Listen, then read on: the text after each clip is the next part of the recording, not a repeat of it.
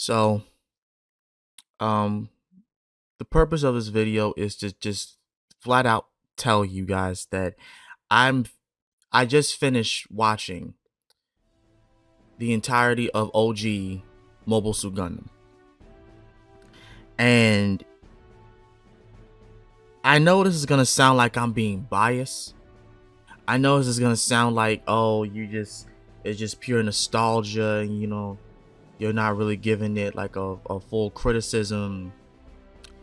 I didn't watch this when it was on Toonami. I watched, like I said before, I watched G Gundam, which I'm to have to rewatch.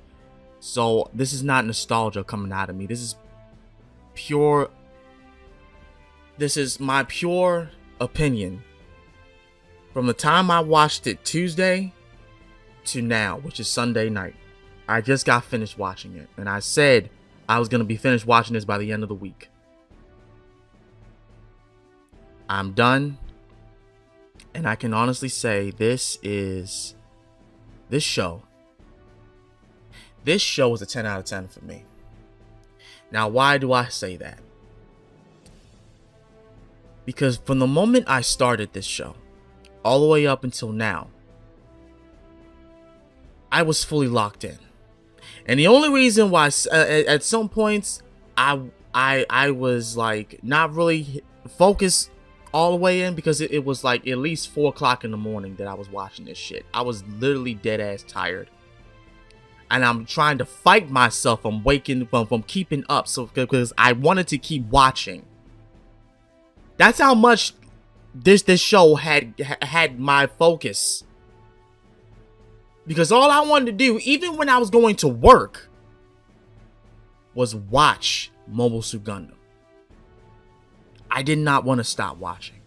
But of course, the elections and everything, which I'm going to make a video about that, everything had happened part a part of my mind was taken uh, was taken uh, was taken aback from that. I wanted to give myself a little bit break of watching this because a lot of crazy shit was going on that I can't really say in this whole video. But I'm just gonna give my brief synopsis. All right, uh, just a brief re review. This show, Mobile Suit Gundam, is a 10 out of 10 for me. It is. Not once was I bored. Not once was I angry. I mean, I was angry for different reasons, but not because of the show being bad or being bad or anything like that. I was fully in, in, in, in enveloped with these characters.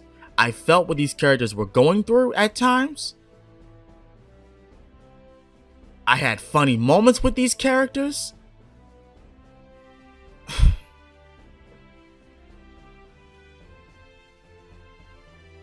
I love this show. I am now what you, you are now looking at a new at a new Gundam fan. I love Gundam.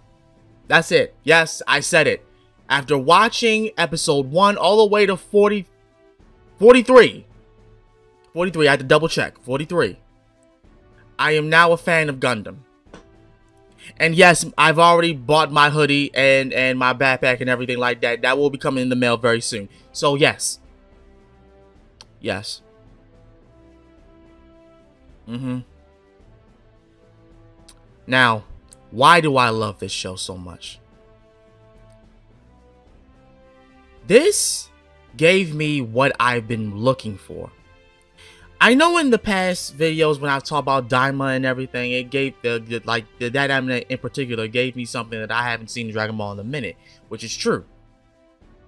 The feel of Dragon Ball and Goku being Goku is something that I wanted to see in Dragon Ball for a very long time to come back, and that is the truth. But I've also wanted to see a more how can I put this?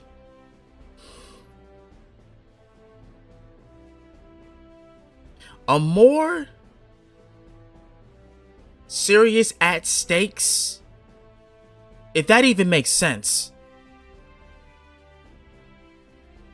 a show that that'll that that'll have me be on my on my feet and wanting to keep watching. I wanted a I, I needed an anime to do that for me. And this show did that. And the thing that I that I keep asking, and I've been asking my friends this who wanted me to watch Gundam and everything. How is it that this show is not getting as much attention as it should? Despite the fact that I always and and and this is the thing that keeps buzzing my mind. So bear with me.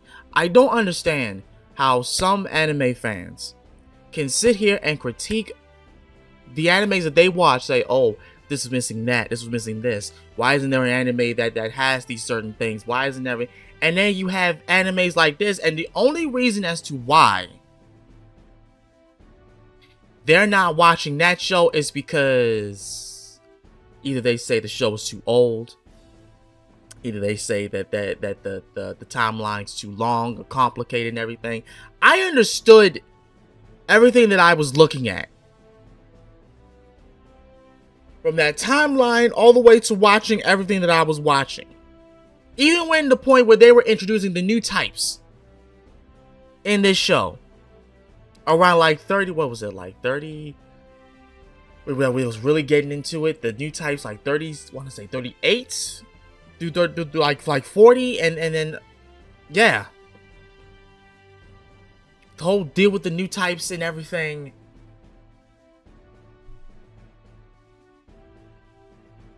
I don't understand it. This show gave me everything that I was looking for. And yes, as a fan of Zoids, it was easy for me to love this show. I love giant robots, period. I, I come on, you're talking to a dude that loves Power Rangers. Of course I'm gonna love this. Talking to a dude that loves Transformers. Of course, I love giant robots. Should you ask me if I enjoy Megas XLR, you bet you bet your sweet ass I, I love Megas XLR. So of course I'm gonna love Gundam. Why wouldn't I? Despite the fact that this this series, this series, right? This OG show only had one. One Gundam. And I was captivated. I should tell you something the show wasn't just about the Gundam. It was about everything that was going wrong, that was going around the Gundam. Everything that was going on. To the, the, the moment where Amuro, uh, Amuro discovered the Gundam to when the Gundam got destroyed.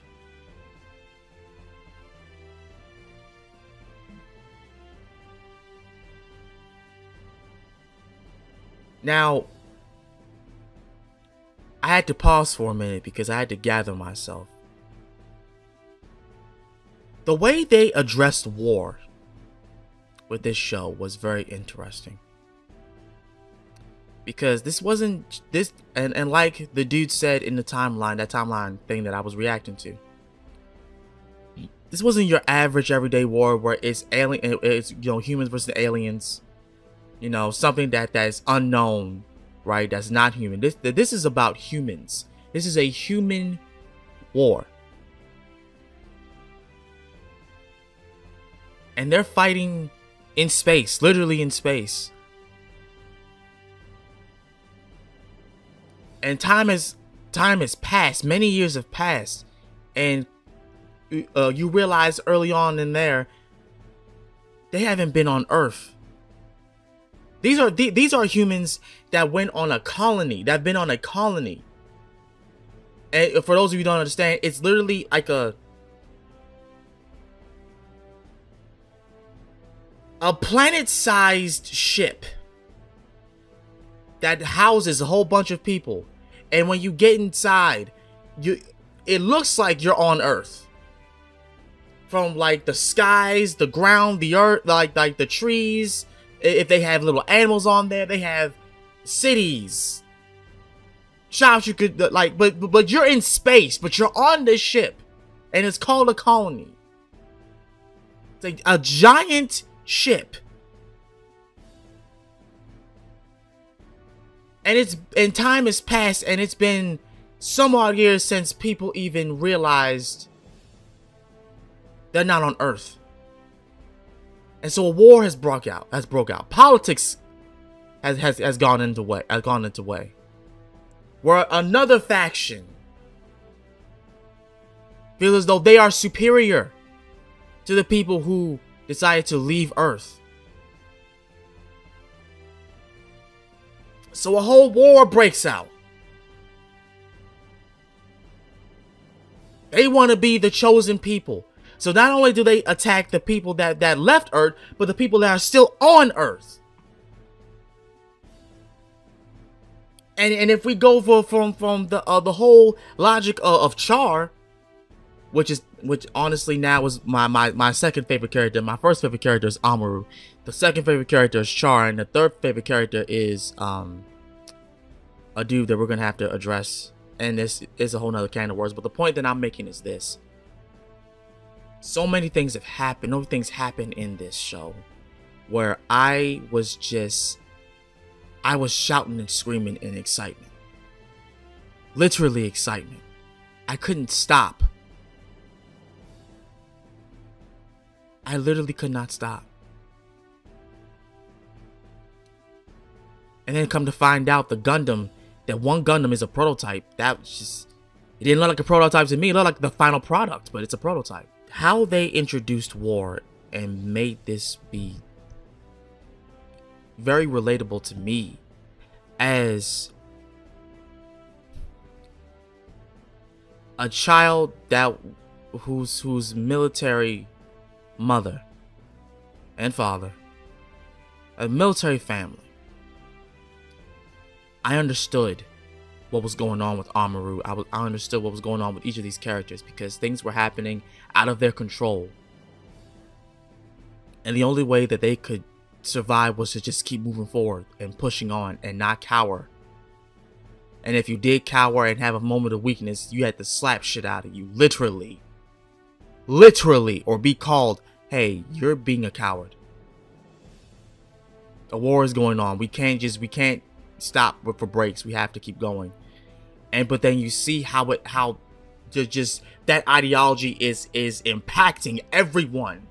Not just the main character, it's impacting everybody. Commander to the people, to the, the, the children that, that, that were unfortunately got put on the ship. But now they, it, shit's happened so much that they, they don't want to leave.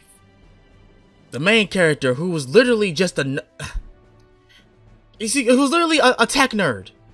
It was into robotics, into technology. Suddenly, this happened, and he just wanted to go find his father. His father, being the dickhead he is, he's all worried about protecting his project, which is the Gundam. Son finds the Gundam and completely is is is is is uh tinkering with the shit because he's so fascinated, and he immediately picks up on it, and you realize how later on how he a reason why he picks up on it because he's a new type of human. They're called new types in this, where a human is their their, their senses are heightened. Where if if something in the back of them were going on, they would understand. They would not only predict it happening, but they could avoid it. And as we get on to the show, Amuro keeps improving this without even knowing it. Which is a which is very a, a, a ridiculous ability, but it works. And then there's Char. This man. Apologize, I was sipping my coffee. At first, I didn't know what to think about this man because at first, dude was just doing stuff because he is a, a upper rank he is known as the Red Comet. He's a son of a bitch. But the moment he finds Amuro, everything changes. Because then he finds, well, we, we, we find him and this, this link he has with his sister, who apparently uh, uh, uh, is, is conflicted. Because not only did she not know about her brother being alive, but also she didn't know he was involved with this war, and neither did he. At first, he was even he wasn't even convinced that that was his sister Sayla. But as time went on, they realized, hey, yeah, yeah, we're related. And he brought he, he bro, he even bribes her to, to be out of this war and go live a, a normal life and be a good woman. At the end of this, And it still kills me this man has a theme song. And it actually is fire. And it, despite the fact that this show is old as hell, the song is fire. I'm sorry, it is. By the way, in, in terms of, of songs, I cannot stop singing the theme song or the theme opening for this show. And just keep doing this. So thank you, uh, Master Zen and and and uh, uh, uh, my other friend. Thank you so much for wanting me to watch this show. I it, it's now been engraved into my brain. Thank you. So yeah, Amuro, uh, my favorite character. It was it, it like he he was so it's he was like a Liger Zero that was able to adapt to everything on the fly. And because of the fact that he survived, he was able to just pick up on it. Especially the fact that he had absorbed another new type's powers after she died. And he oh man, there was so much trauma going on with this, it wasn't even known. And it's speaking of trauma. I said uh, Char was my second favorite character. The third favorite character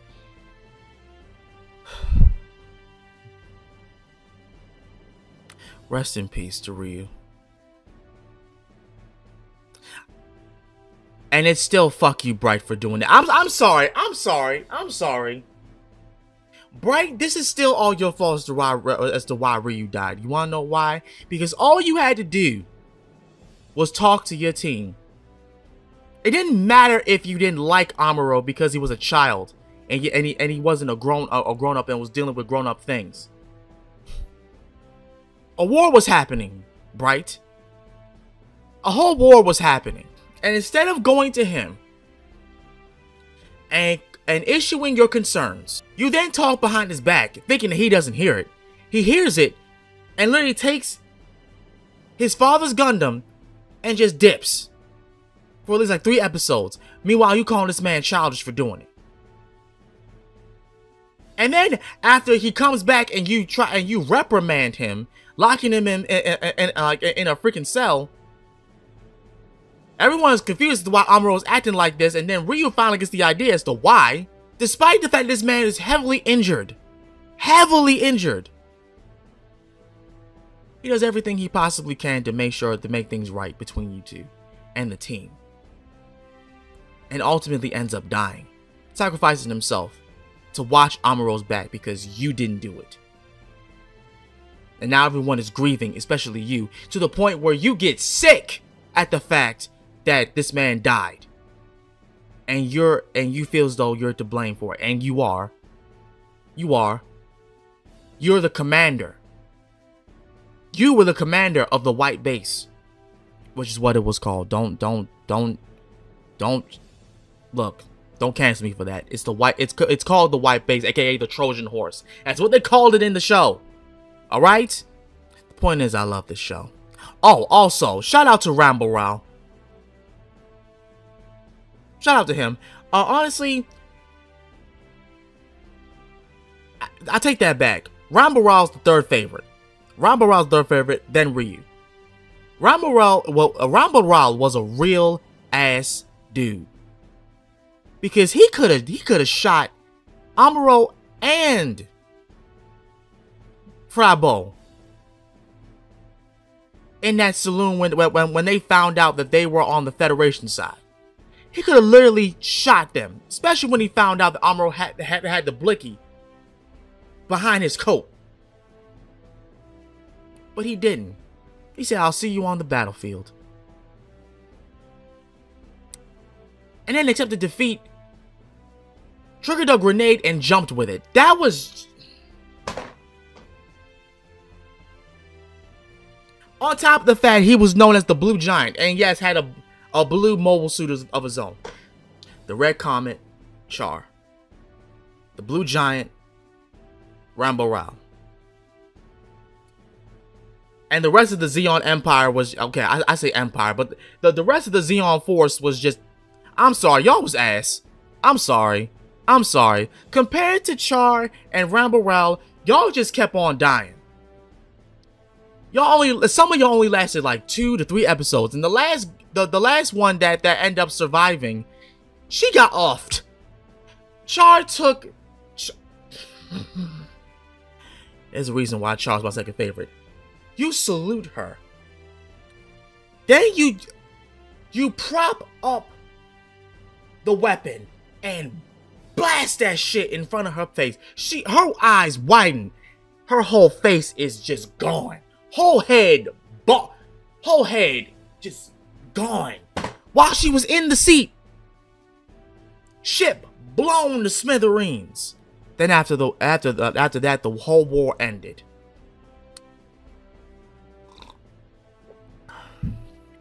And no, and the Gundam was destroyed as well, which was a sad thing to see. Because that thing was durable to the very end. To the very end.